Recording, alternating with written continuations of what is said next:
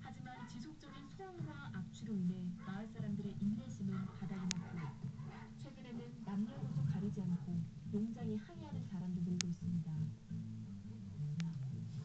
오늘은 마을 최고령 어르신들이 나섰습니다. 아침 저녁으로 안부를 나누던 이웃사촌. 그런데 지금은 살벌한 증오를 쏟아내는 철천지 원수가 됐습니다.